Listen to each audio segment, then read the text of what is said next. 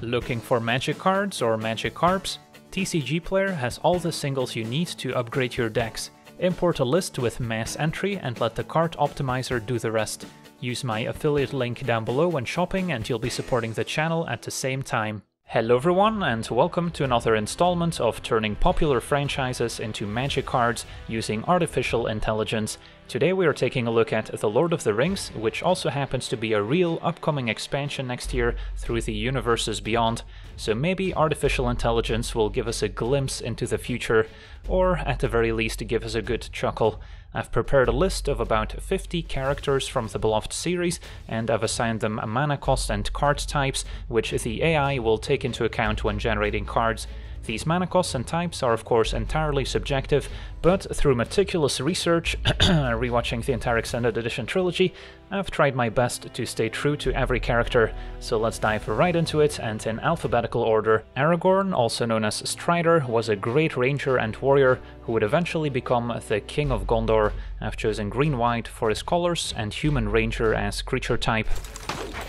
A 2-2 with First Strike and Vigilance, and landfall saying whenever Aragorn, leader of the Aravans, and a knight enters the battlefield under your control, you may have target creature get plus 2 plus 2 until end of turn. Well, could potentially synergize with the Knights of Rohan, as we'll see in a little bit. The art's not bad, and if we maybe fix the landfall ability, it could be a pretty decent design overall. Next up we have Anduril, Flame of the West, a legendary artifact equipment, as it's the reforged sword wielded by Aragorn. Okay, Anduril is 2 mana to equip, giving plus 2 plus 0 and haste, so it seems quite fitting with the name of the card. I would probably expect a little bit more out of a legendary equipment especially, so we can maybe increase the plus 2 plus 0 to plus 2 plus 2 for instance, maybe toss in an extra keyword, but the overall design makes sense and reminds me a little bit of the Sword of War and Peace cycle of equipment, so we can probably increase the power level slightly. Next up is Arwen, the half-elven daughter of Elrond. She married Aragorn and united elves and men while giving up her immortality. I chose blue, white and green for her colors and of course a human elf. A 2-2 saying as long as it's equipped, other elves you control get plus 1 plus 1 and have hexproof, so it seems like a relatively powerful but still balanced ability. The opponent can still take out Arwen, and the flavor text is pretty funny. In the Llanowar, all fairies are fair. Next is Azog the Defiler, a skillful orc warrior, chieftain of Moria. He started the war between dwarves and orcs and shown to be very bloodthirsty, so black-red to its core. Azog turned into a 4-4 with Menace, and whenever it deals combat damage to a player, choose one, either gain control of target creature with power 2 or less until end of turn, or destroy target creature with power 2 or less. Pretty interesting design, Menace makes a lot of sense on Azog, the power and toughness also seems quite fitting, and the ability could play well in like a red-black sacrifice deck, so it gets a thumbs up from me. Next is Bilbo Baggins, a hobbit of the Shire, and also the burglar in the Quest of Erebor, which is why I gave it the halfling rogue creature type, and also one of the many ring bearers of the One Ring, so I give it the white and then blue-green hybrid color, because Bilbo does have that additional curiosity that a regular hobbit doesn't really have, so that's where the blue comes in. There we have Bilbo, a 2-2, saying when it enters a battlefield, put a plus 1 plus 1 counter on target creature you control. This is certainly an ability we've seen before on 2-drops. Typically the creature is a 1-1, as you can put the counter on itself and turn it into a 2-2, but I guess because it's multicolor we get a slightly better version stapled onto a 2-2. So a decent card, although there's not quite the connection I was hoping for with the rogue part of the card, but still a nice card overall. Next up we have Sting, a large elvish dagger which functioned well as a sword for the hobbits Bilbo and Frodo Baggins, so made it a legendary artifact and it's relatively cheap as it's just an elvish dagger after all. Sting costs 1 mana to equip, and the equipped creature gets plus 1 plus 1 and can tap to deal 1 damage to any target.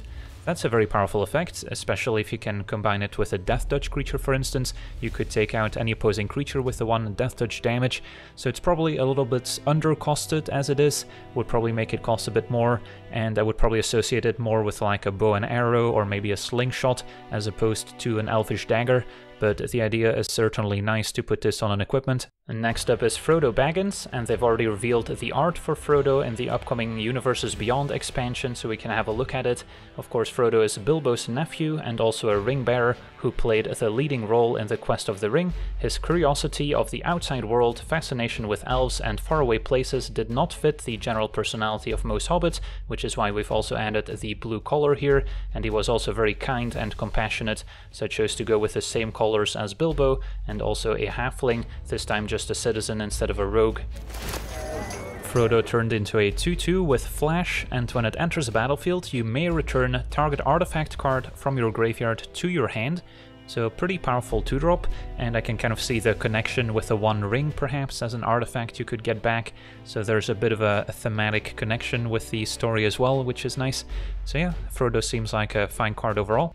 Next up is Tom Bombadil, a bit of a controversial character, but described as a very ancient and powerful being. His true race is unknown, but he's also described as the master of wood, water, and hill, which is why I went with blue, red, and green for his colors, and then Avatar seems quite emblematic for these ancient, powerful beings. So that's what we're going for here. Alright, there's Tom, a 6-6 with haste, and when Tom enters a battlefield, if it was kicked for 4 mana, it deals 3 damage to each creature with flying. Wow, a 4 mana 6-6 with haste is quite powerful, and then the kicker ability, I don't really see the connection with the character, but I guess it's just a nice ability on top. So certainly a powerful card for a powerful figure. Next up is Boromir, a valiant warrior of Gondor and the eldest son of Denethor II and the older brother of Faramir, and I think red-white fits his personality perfectly. Alright, there's Boromir, and the art's quite interesting. They might want to pan up a little bit instead of focusing on the crotch area, but a 3-2 that when it enters the battlefield it deals 1 damage to each creature and each player. So kind of your Goblin Chainwhirler effect, but it affects both players so quite fitting on a human warrior I suppose, but a 3-2 feels a little bit small for this legendary creature, so might maybe bump it up to like a 4-3 at the very least. Next we have Merry, another hobbit of the Shire, and one of Frodo's cousins and closest friends. He's described as warm-hearted and naively brave, so I went with the Naya colors for Merry, not sure which hybrid I should choose here, but I went with white and then a red-green hybrid and another halfling citizen. Merry turned into a 2-2 that when it enters a battlefield lets us search our library for a legendary creature card, reveal it and put it into our hand, so Merry can find all his friends, including Eowyn perhaps, which is part of his adventure, so makes a lot of sense thematically and gets a thumbs up. Our next creature is not very well known, but Carcharoth, also known as the Red Maw, was the greatest werewolf that ever lived, and of course werewolves and magic are typically red-green. There's Carcharoth, a 3-3 with first strike, saying we may cast creature spells as though they had flash, and this is actually a very useful ability in a werewolf tribal deck in Magic, as you often want to pass the turn, let it transform to night, even with the original werewolves, and then be able to play creatures in the opponent's turn still, so this fits a werewolf tribal deck perfectly, even though maybe a 3-3 is a bit on the small side for a legendary werewolf, could probably bump it up to a 4-4. Next up we have Denethor II, the last ruling steward of Gondor and the father of Boromir and Faramir, and I've decided to go with a white-black for his colors, as he's not the most well-liked guy, and human noble as creature type. Alright, there's Denethor, a 2-2, and for 1, a white and a black, we can gain 2 life, so maybe fits in your black-white life gain synergy decks, I suppose. Feels a bit tame for a 3-mana legendary creature, but I guess it fits his character, and also reminds me of that scene in the movie where he obliterates that tomato play that sound effect whenever you activate his ability. Durin's Bane was a Balrog of Morgoth that lay beneath the depths of the Dwarven Kingdom and was eventually slain by Gandalf, and we already got a preview for the art in the upcoming Universes Beyond. Black-red seems very fitting for this expensive demon. Durin's Bane turned into a 6-6 with haste, saying when it deals combat damage to a player, that player discards a card, which seems like a very reasonable ability on a black-red demon.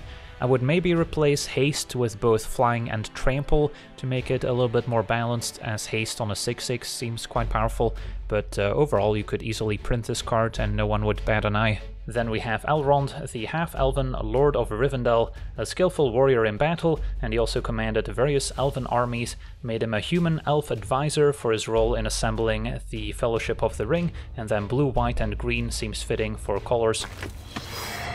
Elrond turned into a 2-2, saying whenever we cast a non-creature spell, create a 2-2 green elf warrior creature token.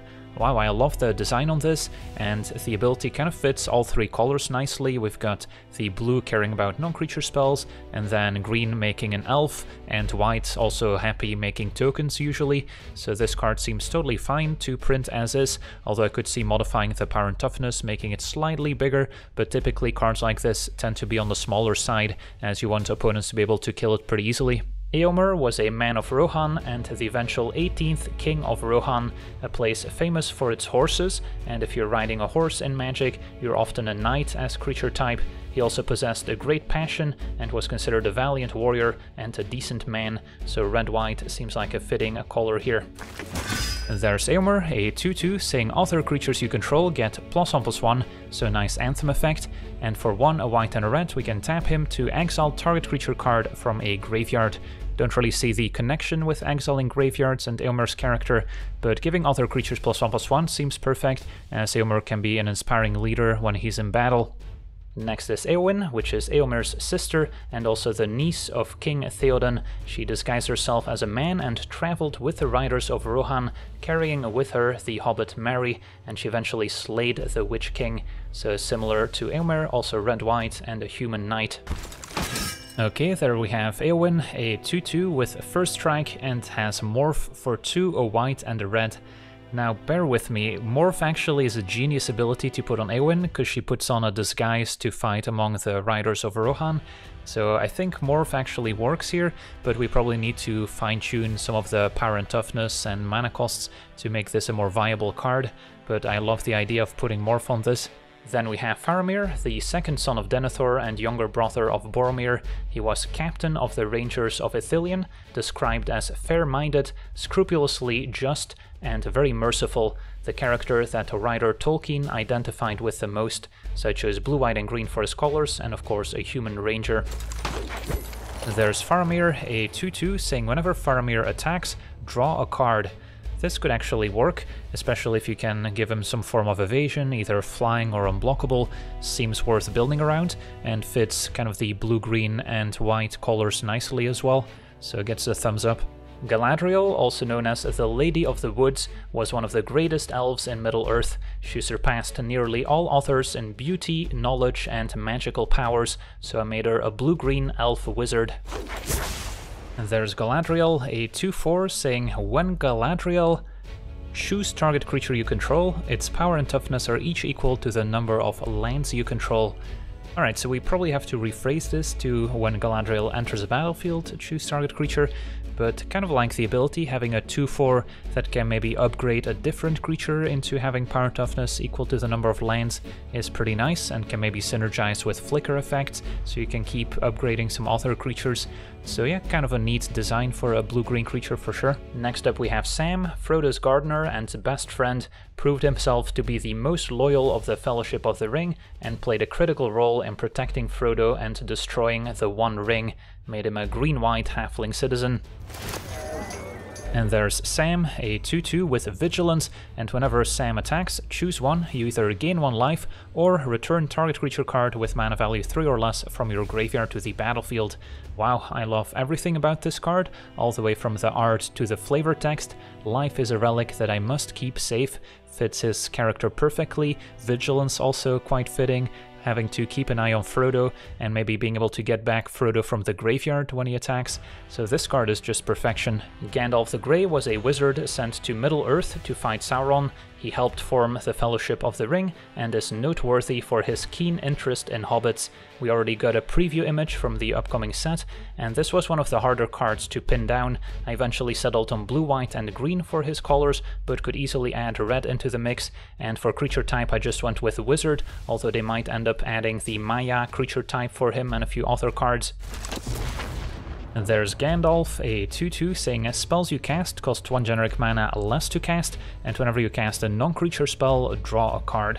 This seems very powerful as kind of a storm slash combo enabler, making things cheaper and drawing cards in the process. Seems like a dangerous card to print as is, but I guess it makes sense for Gandalf to be very powerful. And after the battle with Durin's Bane, Gandalf was taken by the darkness, but he was sent back to mortal lands and resurrected with renewed strength as Gandalf the White. So this is just 3 and double white for another legendary wizard.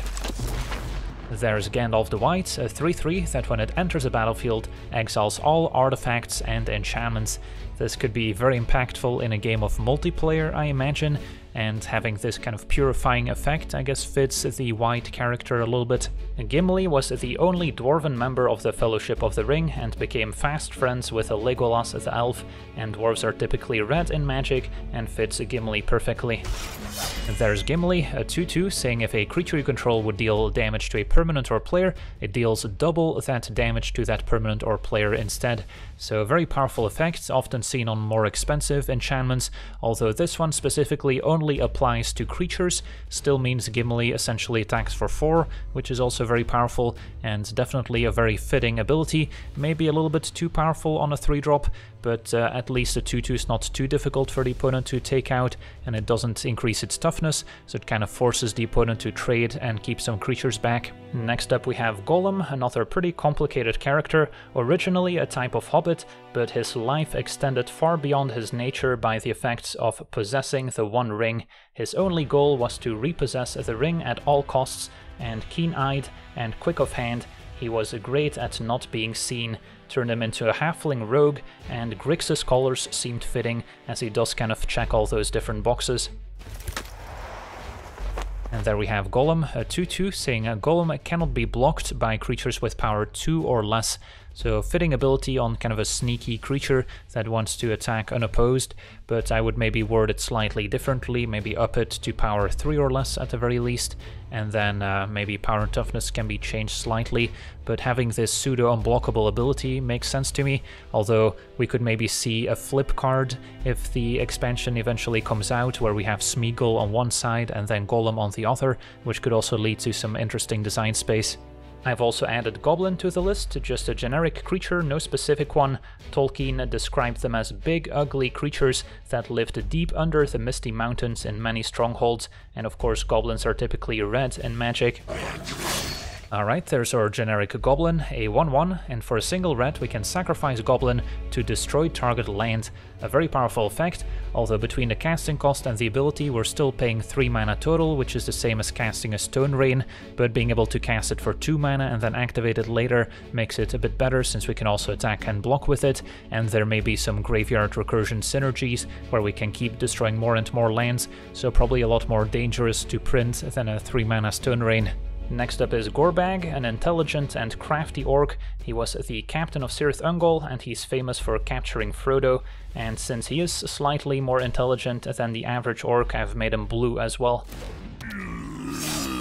Alright, there we have Gorbag, a 3-3 saying whenever Gorbag attacks, exile the top card of your library face down, you may look at it for as long as it remains exiled, and you may spend mana as though it were mana of any color to cast that card. So it's almost like drawing a card, but not quite, because it says cast instead of play. We won't be able to play lands from exile, making it worse than simply drawing, so it's not strictly better than Faramir in that regard, which is nice to see. Then I thought it would be fun to try out Grond, the Wolf's Head, a 100 foot long battering ram with a head in the shape of a wolf. It was created in the likeness of Carcharoth, and makes sense to make it a legendary vehicle.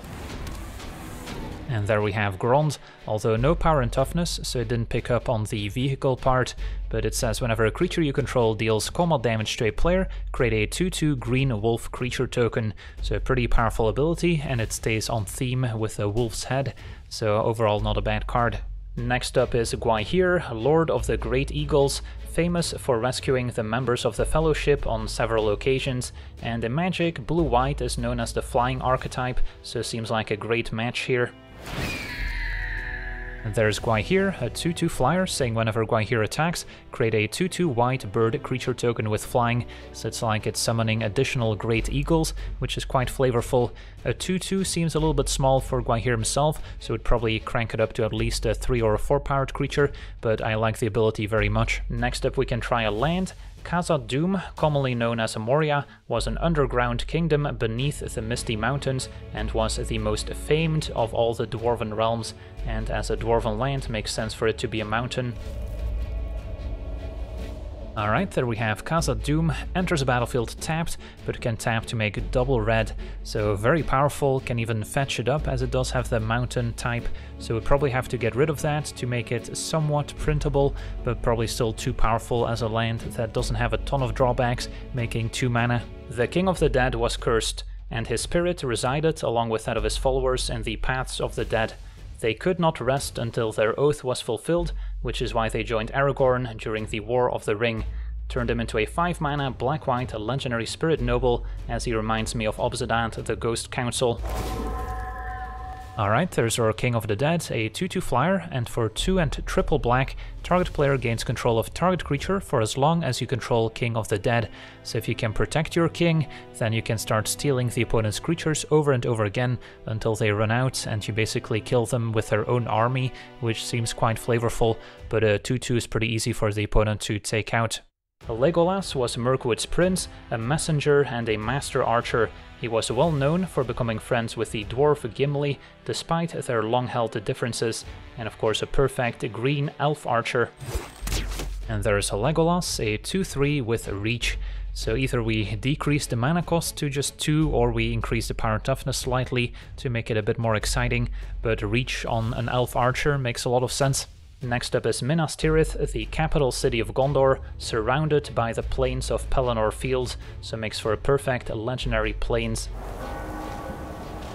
Alright, there's Minas Tirith looking beautiful, and it says start the game with this card face down as a starting card of your starting deck. Okay, let's ignore that part, and then at the beginning of each end step, each player may draw a card. Well, given that it affects both players, it seems relatively balanced, would probably need to tap to add white mana to be a land, but I kind of like the idea of having kind of this symmetrical card draw. Next is Mount Doom, a volcano in Mordor where the One Ring was forged and the only place it could be destroyed.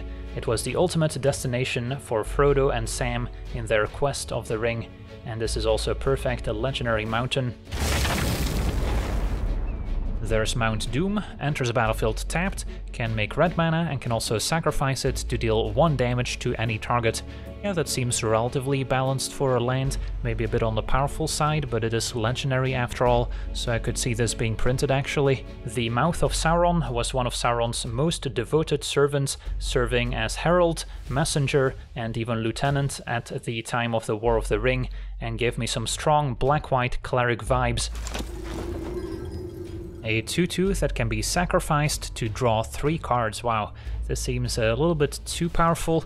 Would have to be at the very least 2 instead of 3 cards, and even then it would probably be a little bit too pushed as a creature that can attack and block, can be sacrificed at any point, and maybe be recurred from the graveyard to draw even more cards but I kind of like the idea behind it. Then we have the Mumakil, these were large creatures resembling elephants, often used in battle by the Haradrim, and the hobbits prefer to call them Oliphants instead, so just a large green elephant creature.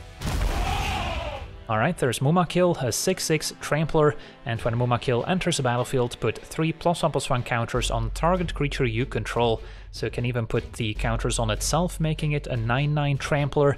So eat your heart out, Colossal Dreadmaw, this is a definite upgrade. The Nazgul, also known as the Black Riders, or simply the Nine, were the dreaded ring servants of the Dark Lord Sauron, and during the War of the Ring they replaced their horses with fell beasts. These were large winged creatures without feathers, and they strongly resemble specters in the world of magic, and just 4 mana for a black creature spectre. And there's our Nazgul, a 2-2 flyer. When it deals damage to a player, that player discards a card. So pretty much what I expected this card to be. Could maybe spice it up and add an extra ability to make it more interesting, but as a Spectre this makes total sense. It's finally time for the One Ring.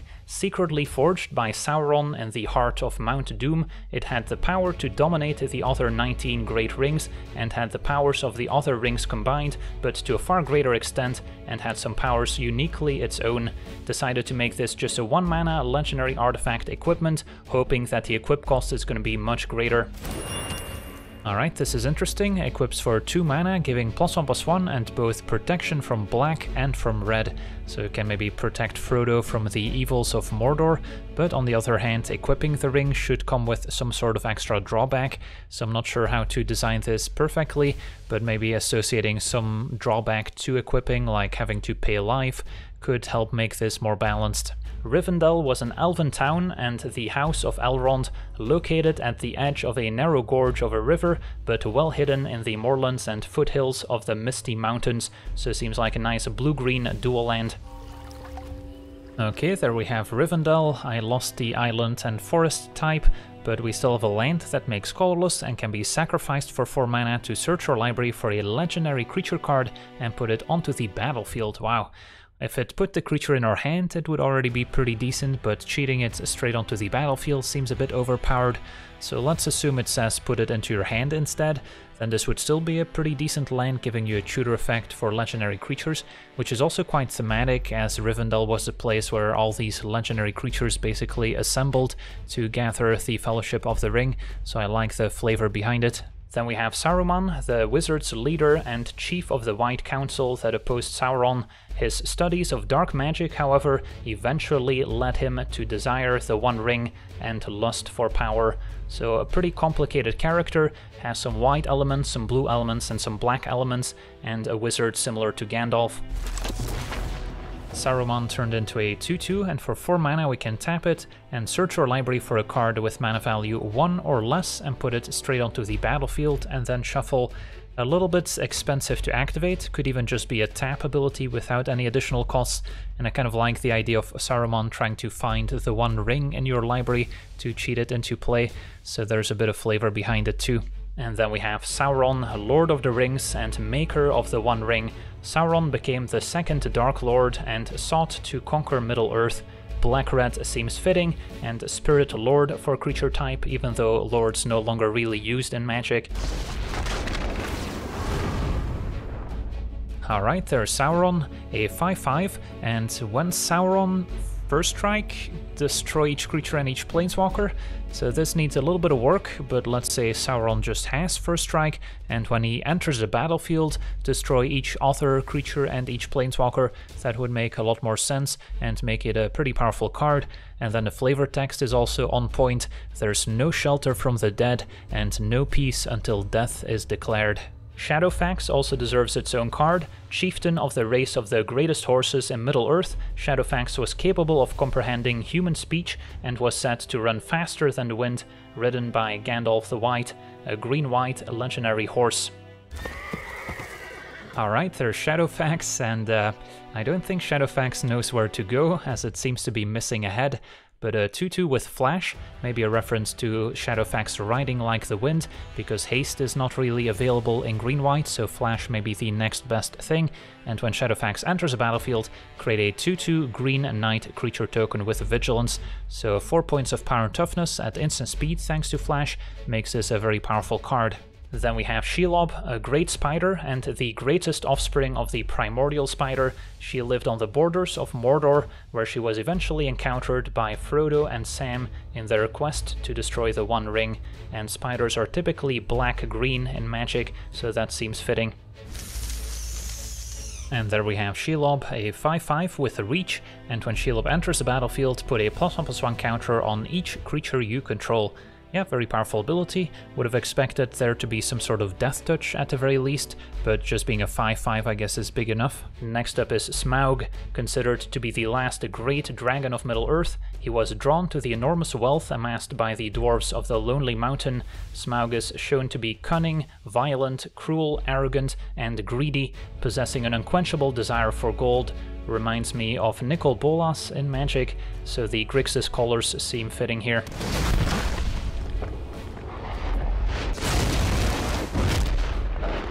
Alright, there's Smaug, a 6-6 flyer, and when it enters the battlefield, you become the Monarch. Simple yet effective, a nice reference to its greed for gold. Could probably staple some additional abilities on top for 7 mana, but I like the card.